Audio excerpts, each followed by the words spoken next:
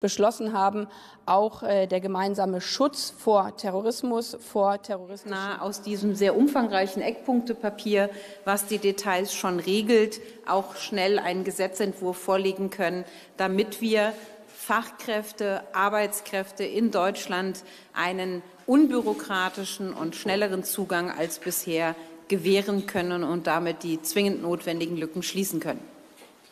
Damit würde ich weitergeben an Frau Stark-Watzinger. Und bitte wundern Sie sich nicht, Frau Stark-Watzinger muss im Anschluss zur Regierungsbefragung, falls sie also das Podium verlässt, ist das nicht gegen uns alle hier gerichtet. Ja, danke schön. Meine sehr äh, geehrten Damen und Herren, das Kabinett hat heute etwas auf den Weg gebracht, was längst überfällig ist. In Deutschland sind zwei Millionen Arbeitsstellen unbesetzt. Es fehlen nicht nur Akademiker, sondern in der ganzen Breite. Die Gastronomie muss teilweise schließen. Geschäfte haben nicht mehr jeden Tag offen, weil die Arbeitskräfte fehlen. Hier ist in der Vergangenheit viel liegen gelassen worden.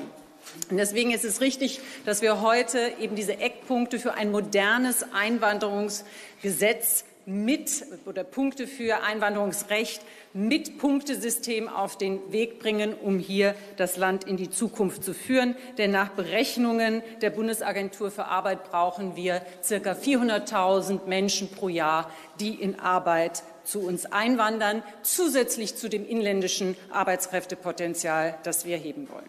Und natürlich ist es so, dass wir die Zuwanderung erleichtern wollen, ähm, indem wir eben die Verfahren auch flexibilisieren. Die Anerkennung, sie wird zukünftig auch noch eine ganz große Rolle spielen, aber sie muss schneller werden und sie muss einfacher werden. Und in Berufen, die nicht reglementiert sind, wird in Zukunft also auch die Zuwanderung möglich sein in den Arbeitsmarkt ohne vorherige Anerkennung. Wir wollen auch die Verfahren bei teilweiser Gleichwertigkeit von äh, Qualifikationen erleichtern, ähm, damit man nach Deutschland kommen kann. Und ich möchte aber auch betonen, wir wollen gleichzeitig einen Anreiz schaffen, dass Anerkennung dann stattfindet, denn das ist ein wichtiger Teil, um auch Integration zu machen und dauerhaft in Deutschland zu bleiben. Das muss ja unser Ziel sein. Das heißt, wer auch in nicht reglementierten Berufen die Anerkennung anstrebt, kann dann auch schneller dauerhaft bleiben. Ja, und ähm, neben der Flexibilisierung geht es auch um die Beschleunigung der Verfahren, Digitalisierung. Hier wollen wir also auch mit der Plattform, mit dem Informationsportal Anerkennung in Deutschland den zentralen Einstieg dann auch schaffen für die digitale Antragstellung. Ein letzter Punkt ist mir noch wichtig.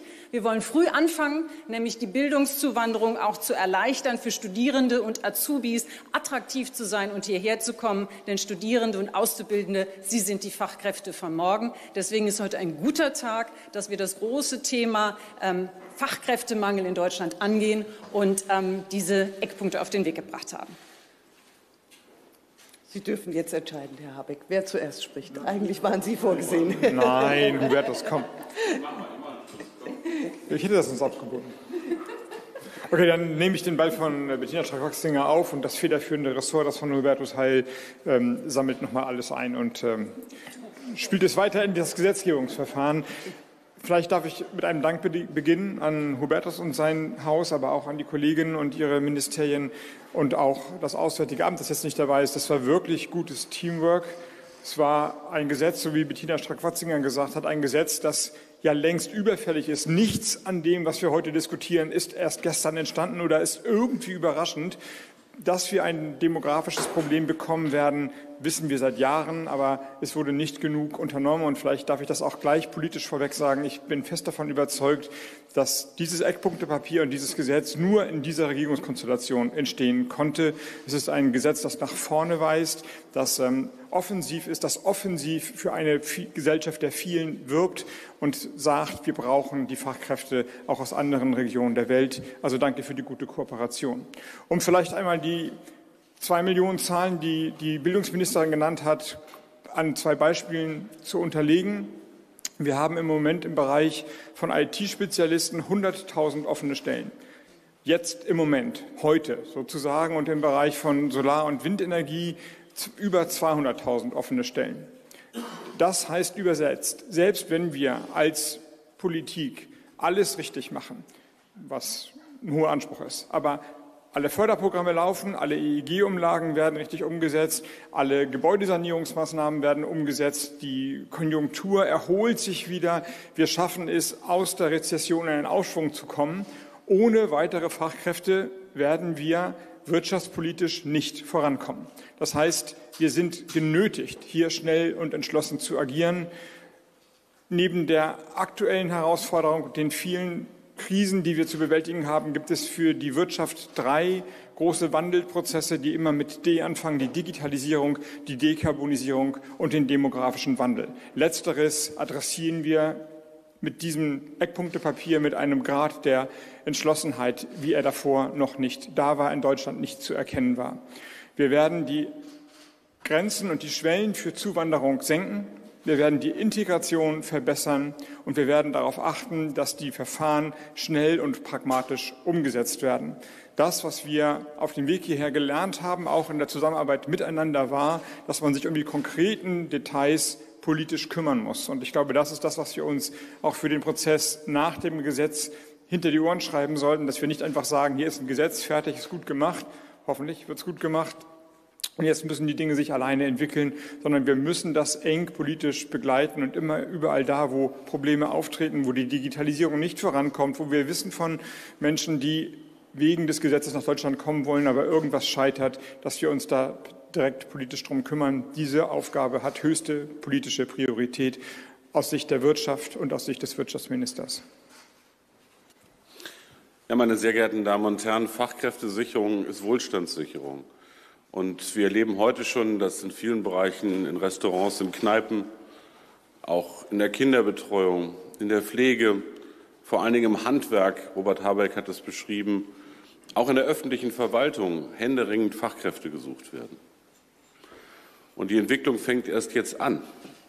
Das Institut für Arbeitsmarkt und Berufsforschung der Bundesagentur für Arbeit hat berechnet, dass uns bis zum Jahre 2035 sage und schreibe sieben Millionen Fachkräfte fehlen können.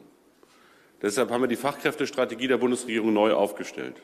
Wir werden alle Register ziehen, die Potenziale im Inland zu heben. Von der Ausbildung über die Weiterbildung, über die Erwerbsbeteiligung von Frauen, über die Inklusion am Arbeitsmarkt. Gilt es, alle Register zu, tun, zu ziehen, damit dafür gesorgt wird, dass Fachkräftemangel nicht zur Wachstumsbremse wird. Und wenn wir das alles getan haben, wird es nicht reichen. Wir brauchen ergänzend qualifizierte Zuwanderung aus dem Ausland. Und mit diesem modernen Einwanderungsgesetz, das wir heute vorliegen, gehen wir einen großen und wichtigen Schritt. Wir müssen dafür sorgen, dass wir Einwanderung nicht nur irgendwie bürokratisch hinnehmen wie in der Vergangenheit, sondern wir werden für unseren Wohlstand, das Wachstum in Deutschland Arbeitskräfte anwerben müssen. Wir müssen Einwanderung wollen von qualifizierten Fachkräften. Sonst kriegen wir den Wohlstand und die soziale Sicherheit dauerhaft nicht gewährleistet. Das geht vom Wachstum bis hin zur Stabilität der Rentenversicherung. Was machen wir im Einzelnen mit diesem Gesetz? Wir sorgen zum einen dafür, dass das bestehende Fachkräfteeinwanderungsgesetz massiv entbürokratisiert wird und Schwellen gesenkt werden. Da geht es um die Menschen, die eine anerkannte Qualifizierung haben, die nach Deutschland kommen wollen. Da werden Schwellen gesenkt im Einklang mit dem europäischen Recht. Zweitens, wir sorgen dafür, dass Menschen, die eine Ausbildung haben und Berufserfahrung, nicht aus dem Ausland ein langes Anerkennungsverfahren durchlaufen können, sondern dass sie hier in Deutschland arbeiten können und ihr Anerkennungsverfahren hier in Deutschland durchführen können. Wer einmal weiß, wie komplex Berufsanerkennung im deutschen System ist, weiß, das ist ein wichtiger Schritt. Und drittens, wir sorgen mit der Chancenkarte dafür, dass nach einem transparenten Punktesystem moderne Einwanderungspolitik nach Deutschland stattfinden kann. Deutschland braucht in Zukunft alle helfenden Hände und klugen Köpfe. Und die Vorstellung, dass übrigens per se alle Fachkräfte der Welt nach Deutschland kommen wollen, ist leider eine Illusion. Ich sage es leicht scherzhaft, es gibt nur 100 Millionen Menschen auf der Welt, die die deutsche Sprache sprechen. 80 Millionen wohnen schon bei uns, ein paar in Österreich, ein paar in der Schweiz. Ich will damit sagen, dass wir im Verhältnis zu anderen klassischen Einwanderungsländern, die angelsächsisch geprägt sind in der Sprache, Spanisch oder Französisch, schon einen Wettbewerbsnachteil haben. Umso mehr brauchen wir alle Kraftanstrengungen mit einem modernen Gesetz, und mit der Umsetzung des Gesetzes. Und da werden wir in der Bundesregierung mit der Wirtschaft gemeinsam daran arbeiten, dass wir eine ordentliche Anwerbestrategie haben, mit gezielten Aktionen in bestimmten Ländern, in denen wir bestimmte Fachkräfte sehen und zu uns holen wollen. Mit dem Thema Visumserteilung, an dem das Auswärtige Amt arbeitet, Wir können nicht Fachkräfte anwerben und dann müssen die ewig auf ein Visum warten. Deshalb arbeitet Annalena Baerbock mit Macht und Kraft an der Beschleunigung dieser Verfahren, an der Digitalisierung dieser Verfahren. Beim Thema Berufsanerkennung. Ich will das zum Schluss sagen, meine Damen und Herren. Die Botschaft dieser Koalition an unser Land ist, wir werden das Thema Fachkräftesicherung mit Macht vorantreiben müssen, um Wohlstand zu sichern. Aber wir müssen der Realität ins Auge sehen, wir brauchen qualifizierte Zuwanderung aus dem Ausland. Das braucht auch Akzeptanz, denn am Ende kommen nicht nur Arbeits- und Fachkräfte, es kommen Menschen. Das heißt, man muss Integration auch anbieten. Und man muss eins klar machen, die Akzeptanz in Deutschland muss erhalten werden. Deshalb haben wir im Gesetz und werden dafür sorgen, dass wir Zuwanderung von qualifizierten Fachkräften aus Drittstaaten ermöglichen. Aber das darf nicht missbraucht werden zur Lohndruckerei. Auch dafür ist im Gesetz Vorsorge getroffen. Wie geht es weiter? Wir haben heute die Eckpunkte besprochen. Wir werden zeitnah daraus einen Gesetzentwurf machen. Wir werden ihn Anfang des Jahres in den Deutschen Bundestag einbringen. Und ich bin mir sicher, dass dieses moderne Fachkräftegesetz einen wirklichen Beitrag zur Wohlstandssicherung in Deutschland leisten wird. Herzlichen Dank. Vielen Dank. Wir haben jetzt noch einen kurzen Moment Zeit für Fragen. Ich würde Sie bitten, Fragen zum Thema zunächst zu stellen. Und wenn wir dann noch Zeit haben, würden wir noch mal öffnen für andere Themen gegebenenfalls. Sie hatten sich Nee. Wegener Deutsche Presseagentur. Zwei Fragen, wenn ich äh, darf. Nach, dem, nach der heftigen Kritik der Union und angesichts der Erfahrung mit dem Bürgergeld erwarten Sie, dass Sie äh, Kompromisse auch bei diesem großen Gesetzeswerk äh, mit der Union machen müssen? Und vielleicht noch mal konkret eine inhaltliche Frage. Ist es in Ihren Plänen so vorgesehen, dass man dann zum Spracherwerb nach Deutschland kommen darf und nebenher schon arbeiten? Wenn ich das beantworten darf, Herr Wegner, zum Ersten, die Frage müssen Sie an die Union richten.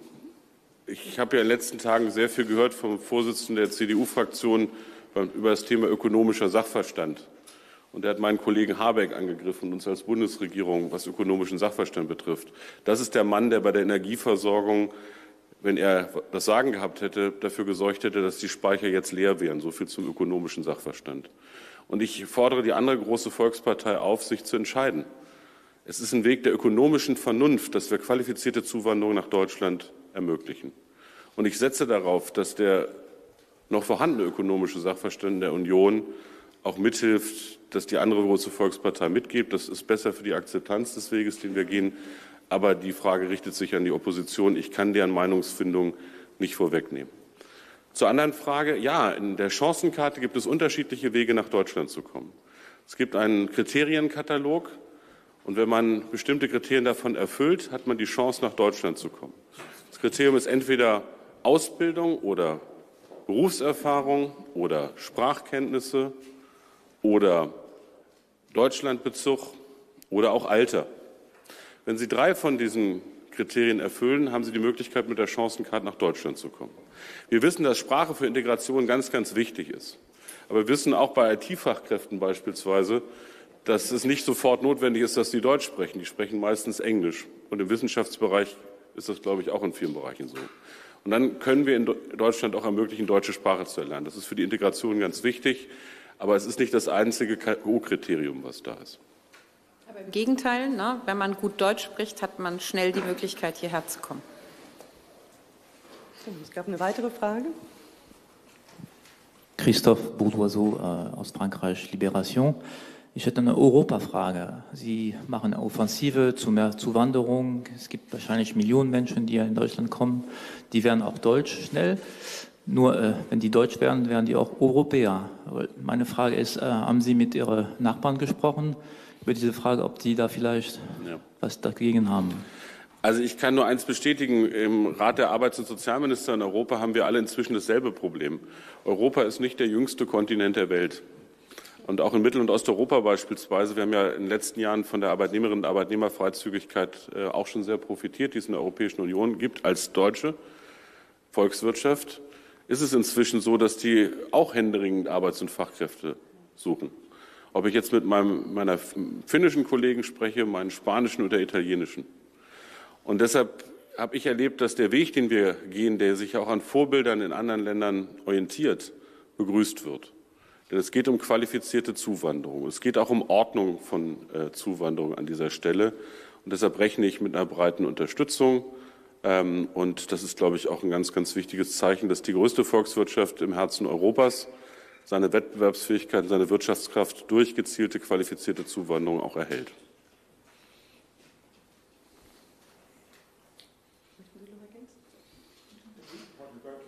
Für meine Seite gut beantwortet.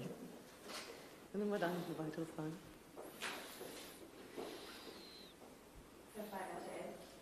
Ja.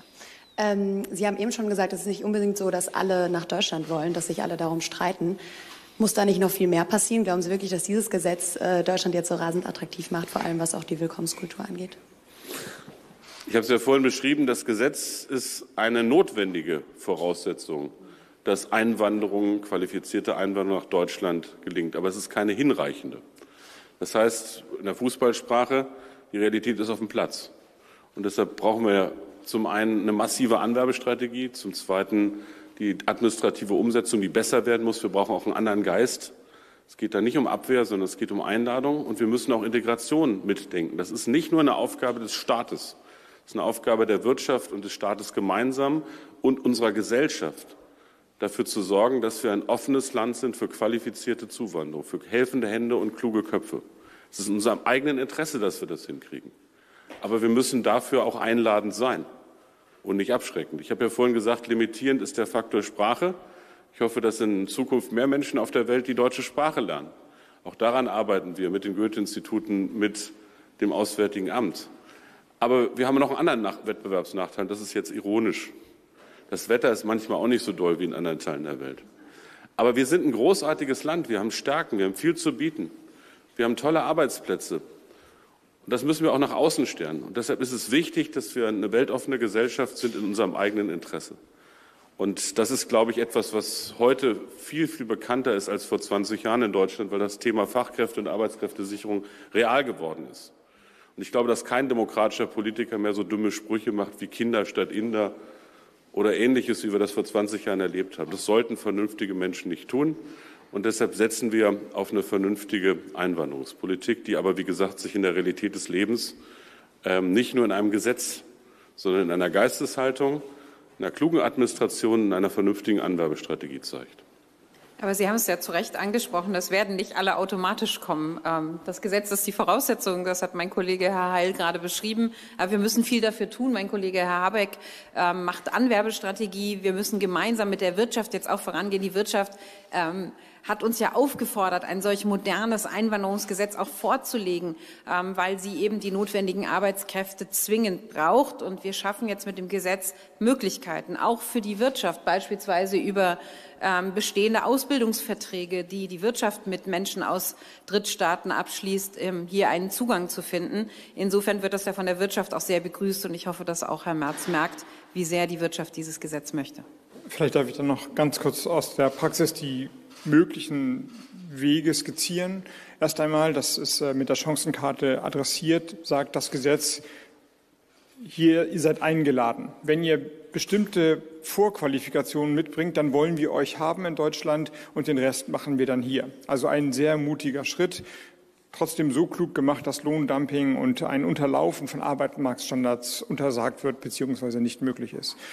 Zweitens gibt es natürlich auch diejenigen, die schon gut qualifiziert sind, die sich im Internet oder auf dem Arbeitsmarkt umtun und sagen, wir haben ein Interesse, wir würden gerne kommen und die haben immer bestimmte Voraussetzungen zu erfüllen, Berufsabschlüsse, Berufskenntnisse oder Einkommensregeln. Die werden herabgesetzt, sodass die Eigeninitiative hierher zu kommen und sich schon als qualifizierter Mensch dann auf dem Arbeitsmarkt zu tummeln, deutlich leichter wird. Und dann drittens, und das ist adressiert worden, reicht es natürlich nicht nur zu sagen, wenn ihr wollt, kommt, sondern man muss die Menschen, die potenziell interessiert sind, adressieren, ansprechen, anwerben.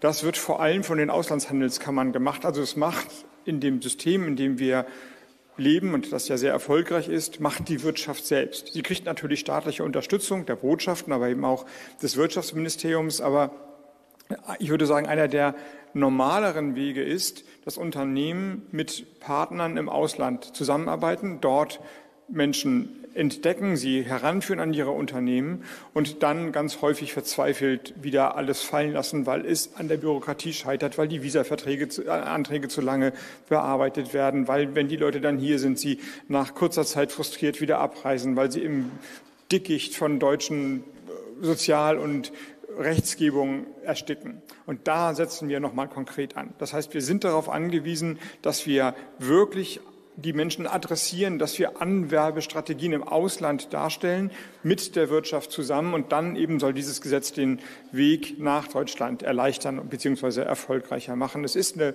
jetzt von meiner Seite her gesprochen, eine partnerschaftliche Übung, so wie es die Innenministerin Faeser gesagt hat. Es ist ein Gesetz, auf das die Wirtschaft, ich würde sagen, seit Jahren wartet. Und wenn ich auf die Frage an Hubertus Heil noch mal kurz eingehen darf, wer das nicht unterstützt, unterstützt nicht die deutsche Wirtschaft. Gut, dann haben wir noch eine weitere Frage und danach, denke ich, sollten wir zum Ende kommen. Hallo, Nink van Verschür von NRC Amsterdam. Ähm, Sie haben gerade angesprochen, ähm, dass bis 2035 möglicherweise sieben Millionen Fachkräfte fehlen. Ähm, wie wichtig ist es dann, um ähm, jetzt so zu konzentrieren auf qualifizierte Einwanderung? Weil bis dahin könnte man ja auch unqualifizierte Einwanderer ausbilden und äh, integrieren. Vielen Dank für die Frage, denn ähm, man muss die sieben Millionen Schätzungen ja an der Demografie erklären. Ab 2025 werden die geburtenstarken Jahrgänge in Deutschland, die vor 64 geborenen, die berühmten Babyboomer, wohlverdient in den Ruhestand gehen. Und das waren sehr geburtenstarke Jahrgänge. Ich bin ein bisschen später geboren, Robert Habeck und Nancy Faeser auch. Von unserer Generation gibt es schon weniger. Aber das wächst sich jetzt am Arbeitsmarkt ein Stück durch und das wird heftig werden. Und daraus ergeben sich die sieben Millionen. Wer glaubt übrigens, nur mit Einwanderung die Fachkräfteprobleme in Deutschland zu lösen, der hat keine Ahnung vom Arbeitsmarkt. Wir müssen ganz massiv ran an die inländischen Potenziale und brauchen gleichzeitig qualifizierte Zuwanderung. Warum qualifiziert? Weil wir ein hochentwickeltes Land sind, weil es Fähigkeiten braucht. Allerdings werden wir die Hürden runterbringen, denn qualifiziert ist nicht nur deutsche Ausbildung. Es gibt ganz tolle Ausbildungsberufe in anderen Bereichen. Und wir reden ja auch nicht nur über Akademikerinnen und Akademiker, wir reden über beruflich Gebildete in ganz großem Maße. Das heißt, wir werden schon ein sehr modernes Gesetz schaffen, aber wir erleben auch, dass die Menschen, die nicht qualifiziert sind in Deutschland, die keinen Berufsabschluss haben, überdurchschnittlich stark im Leistungsbezug sind. Zwei Drittel der Langzeitarbeitslosen, die wir in Deutschland haben, haben keine abgeschlossene Berufsausbildung. Und deshalb werden wir mit dem Bürgergeld ja dafür sorgen, dass sie eine Ausbildung nachholen können, um dauerhaft in Arbeit zu kommen, nicht nur in Hilfsjobs. Das heißt, dieses Land braucht nicht, ich sage mal, nur Hilfskräfte, sondern dieses Land braucht gut ausgebildete Menschen. Und die werden wir in Deutschland ausbilden. Und wir werden ausgebildete Menschen aus anderen Ländern holen und auch einladen, in Deutschland zu arbeiten und zu leben. Mir ist der Satz von Max Frisch in Erinnerung. Wir wollen Arbeitskräfte, aber es kamen Menschen. Das war auf die 60er Jahre gemünzt. Das gilt heute umso mehr. Wenn wir ein Einwanderungsland sind, und das sind wir seit vielen Jahren, wir kriegen jetzt ein modernes Einwanderungsgesetz, dann werden wir Fehler der Vergangenheit nicht wiederholen. Wir werden Integration anbieten, auch erwarten. Das ist notwendig. Es ist ökonomisch vernünftig, es ist auch gesellschaftspolitisch vernünftig, und dafür werben wir. Vielen Dank. Ich sehe jetzt keine weiteren Fragen. Ich danke Ihnen allen für Ihr Kommen. Ihnen auch. Noch einen wunderbaren Tag. Ciao. Dankeschön. Tschüss. So, meine Damen und Herren, äh, dann äh, springen wir doch direkt ins äh, nächste Thema. Ähm, diese Stunde ist eine intensive Live-Stunde, habe ich Ihnen ja schon angekündigt. Also der heutige Tag, nächstes Thema, ist ein teurer Tag wahrscheinlich für eines der Mitgliedsländer der Europäischen Union, nämlich genau Ungarn. Es stehen über 13 Milliarden Euro für Ungarn auf dem Spiel. Denn die EU-Kommission hat gerade eben ihre Empfehlung abgegeben, Gelder für Ungarn erst einmal einzufrieren. Es geht um 7,5 Milliarden Euro aus dem Gemeinschaftshaushalt der EU und um 5,8 Milliarden Euro an Corona-Hilfen. Und da hat die EU-Kommission eben gerade